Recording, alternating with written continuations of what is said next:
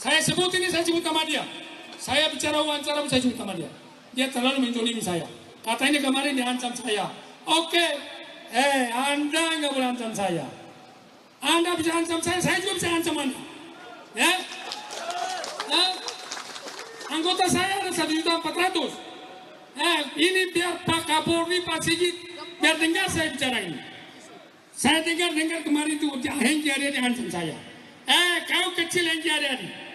Eh, kau ancam saya. Kau bisa bikin, saya bisa bikin kau lima menit selesai. Eh,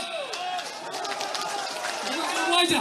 Kalau saya mau, saya bisa bikin kau lima menit selesai kau. Kalau saya mau, karena saya udah gila, saya udah gila ya.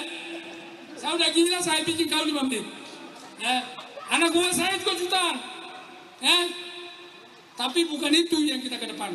Hukum yang kita ke depan, kebenaran yang kita ke depan.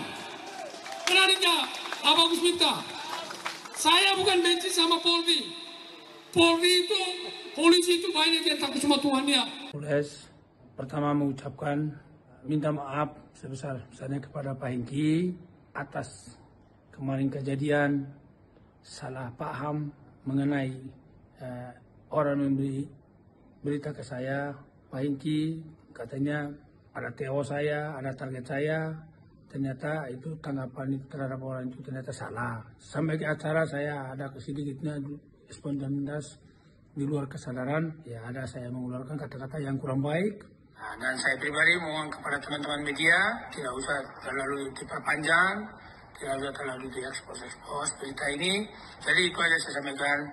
Terima kasih dan mohon maaf juga kepada Bapak Kapolri, mohon maaf juga kepada Bapak Kapolda Metro Jaya dan minta maaf sebesar-besarnya.